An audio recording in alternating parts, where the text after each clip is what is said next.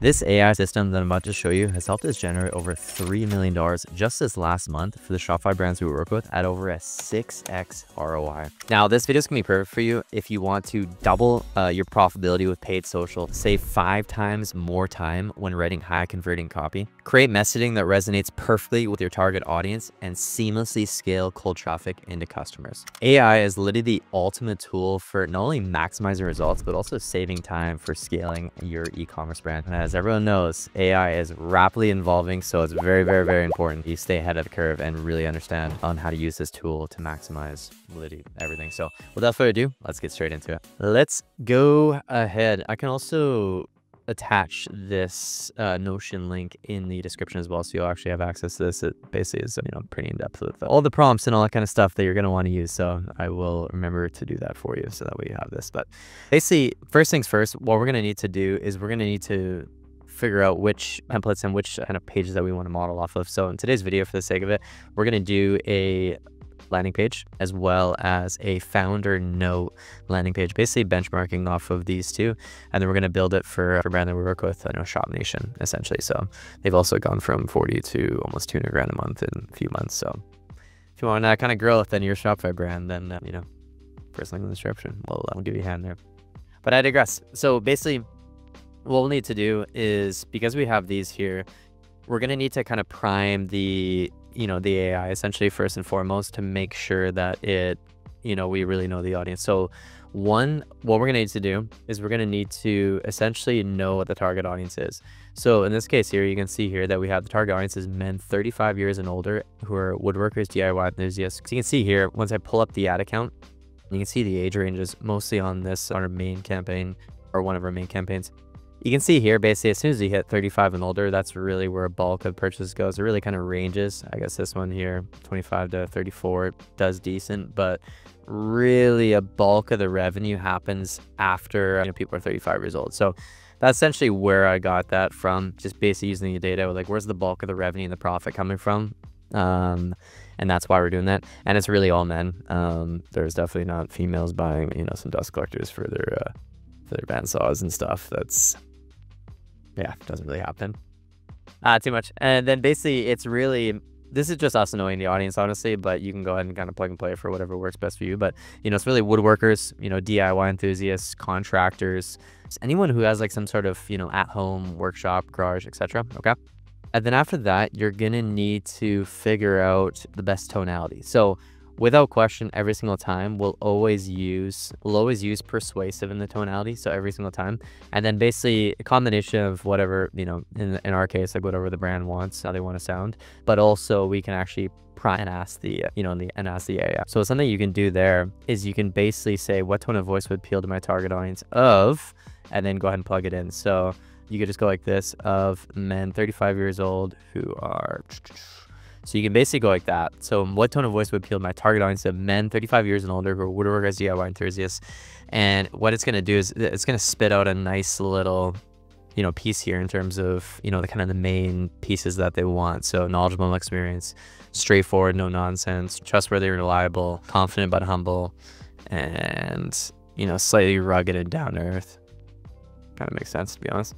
So yeah, you can do that there. Yeah, that's all sorted for that. And then what else do we need? So after that, we also need, yeah, actually it's really a, mm, those main two. And then basically what we always want to do is we always want to talk about the goal. So whenever we're doing these, we always want to kind of give the format in terms of the template. We need the goal, we need the target audience, age, demo, interest, all kind of stuff. And then we need the tonality. Without these, it just doesn't come out exactly how you want it. You really need to give it these three main things. If you do this, you'll be successful with it, with them. And you know, I've done a ton of research on AI, and these are really the main things that we uh, look for to to include. in terms of this case, the goal for here is to resonate with the target audience and able to convince the reader that the dust collector is the best problem product to solve their problem, essentially. So that's really kind of what we put there in terms of that part there. Now, up next, what we want to do is we need to kind of give it the formatting in terms of this. So we want to replicate this here and then doing it for essentially selling these dust collectors essentially. So basically what we're going to do is we're going to go to our nifty little tool here. I'm going to go down to five reasons why listicle. And essentially what we're going to do is we're going to basically model off this. We're just going to copy this here and then we're just going to change it, change it up here. So if we scroll all the way down and instead of people on mats, we're gonna do shop nation, boom, just like that. And then target audience, we're gonna change that. So I'm just gonna scroll up and grab it here because I already have it there. So target audience, we've already figured that all out. Goal, I've already figured out the goal. And then in terms of the formatting, we're just gonna model off of this. So I'm just gonna grab this here. And then we're just gonna go ahead and plug that in. And then essentially, so if you see us here, write the copy for a five reasons why listicle landing page for this website here. The target audience is men 35 years and older who are woodworkers, DIY enthusiasts, contractors, all that kind of stuff. Goal landing page. And then the last piece here, use a persuasive, knowledgeable, straightforward, straightforward and trustworthy tone. Use the copy in this page to model in terms of the format. So now we can go ahead and press play. And then it's what it's going to do is actually going to basically kind of split it up really, really nicely here. So header, subheader, five reasons why, dust collector, blah, blah, blah. We're going to basically create multiple of these. So say goodbye to messy cleanups, efficient dust collection, better projects, easy to in install, built to last, just like your projects, breathe easy, literally CTA header, CTA subtext, and button text. So you see how it basically just models it almost like exactly, which is actually perfect. Now, I will go ahead and we want to make sure that we, one, these points are, are as dialed as they possibly can be. And then two is that they're in the exact order. But then really the 80-20 rule of these pages is always the header and sub headline. Because basically what happens is if I go move this to mobile, literally every single person is going to see this. No questions asked. So it's probably something you'd want to split test if literally 100% of the traffic is going to see this here you probably want it to uh, it to be split test and be as perfect as possible can be. So what we're gonna do here, we're gonna say write five more versions of the subheader of the subheader. I'm gonna say you don't have to you don't have to start it off. What I like doing sometimes as well too, and what we've worked best is we'll do like struggling with X, like struggling with, you know, too much dust in your shop, all that kind of stuff. And then basically what we'll have is, you know, here's five reasons why, you know, the dust collector is, you know, perfect for solving that problem. Something along the lines of that. And we'll find out that is better because sometimes as soon as they see the five reasons why it is a little bit overplayed, but don't get me wrong, these pages still are literally the highest converters. They're, yeah, they work so well. They're so simple and they just convert really well. So if it ain't don't bro- if it ain't broken, don't fix it, as I said. So five more, right? Five more versions of the satire. You don't have to start it off with five reasons. You can start off. You can start it off with something similar to struggling with X question mark. Here's five reasons, and then I'm just gonna go dot dot dot, and then go like that. Five more reasons make these as attention grabbing as possible, as possible, and really hook the hook the reader in, reader in as best, hook the reader in, and really hook the reader in. Crap. So now basically what we're trying to we're trying to optimize for is basically this part up here. We're really just trying to make as many versions as possible and really pick from the best ones. Struggling to keep your workshop here's how to fix it for good. Here's how to fix your workshop, which is dust collection. Struggling to keep your workshop clean. So basically what we could do, this is why you don't want to do it exactly exactly. What I really like, create five more versions uh, that are similar to this. This is what I like the best right here. Here's five reasons the Shop Nation Dust Collector. Dust Collector is the best in the market. The market. So I kind of like that that headline there. And then what we can do is kind of take that and create five more versions similar to this. Plus Rio Sawdust, Earth Fires, Shop that stands out. Battling a Messy Workshop, discover five reasons why. So you can see here, these are actually really, really, really solid. I like that as like one of them. Something similar to that or one of these. Basically right on the top there. And then what we can do um, is grab a really, really, really good review. They don't really have any press, um, but we can grab a really, really good review and kind of put that there. So that's how I do the uh, the first one there. And then what we can do is kind of dial in at least all these main points here and kind of adjust those. So that's how I'd write it for the first one there. Now for the second one, what we want to do is do a founder's note kind of lander essentially. So what we're going to do is go back to our nifty little tool and then we're going to go to story, basically story kind of basically similar to this. We're kind of modeling off of essentially this one here and also the magic spoon one here as well. Yeah so very very similar model as well too. So you can kind of play around with it and play around the template but you can see here the one that we created. But basically that's the one we're trying to try to model off of there. So basically what we're going to do is we're going to scroll all the way down and then we're going to grab this prompt right here. And then we're going to go here and then we're going to go ahead and paste it in and then we're going to just change that there and then we're going to go shop nation. Boom. And then gold landing page.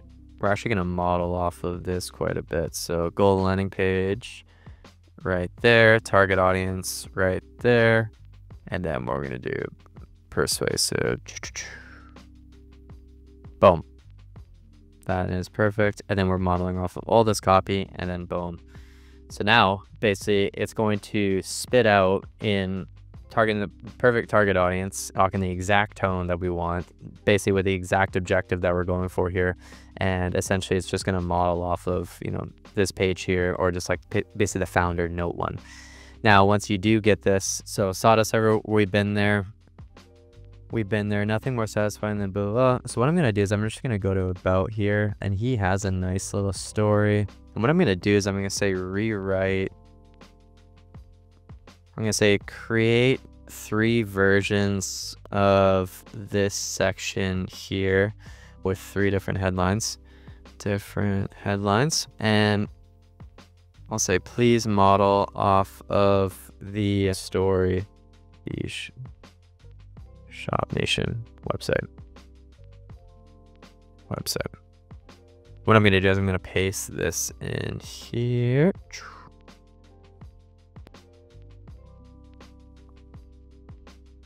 And keep, I actually like this length and keep it around the same length. Make sure that's all good. Yes, sir. Okay.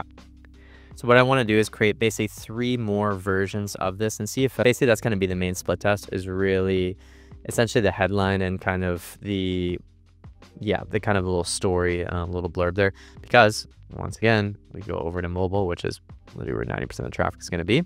And what you're going to find out very, very, very, very quickly is that every single person is going to see this. So it is most likely the thing that you'd want to split test. And it's probably not the best thing to split test the photo in the back because you can't really see it too, too well on mobile. But yeah, that is why we're doing that.